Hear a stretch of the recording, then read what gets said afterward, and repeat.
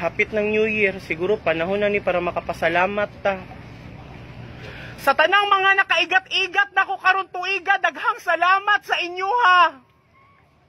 Sa tanang mga igor at nagipang charcharan karon tuiga, daghang salamat sa inyo ha. Sa tanang mga nahimong kabit karon tuiga, congratulations in town sa inyo ha. Sa tanang mga relasyon nga walay label din ha, ah, ligunin ninyo. Sa tanang mga nag-I love you hanay karon tuiga bisan way sila. Hala, ipadayon ninyo.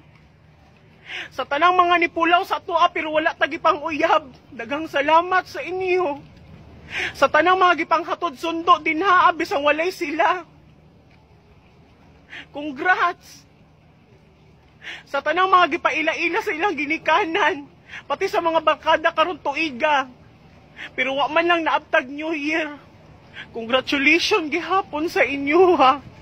Sa tanang long distance relationship din ha nga giilisan sa mas dool. Congratulations sa inyo ha. Sa tanang mga ego lang gibarkada lang karon tuiga. Congratulations sa inyo ha. Sa tanang mga gipili o gipiling biyaan. Congratulations sa inyo ha. In short, daghang salamat sa nagpasakit sa tuwa karon tuiga. Excited na may masakitan next year mga animala mo. Pero shout out ko sa tanang nagpabiling single karon tuiga. Maka-proud mo guys. Congratulations sa atua. Nalampasan na sa nato ning tuiga nga kamot ra to'y gamit.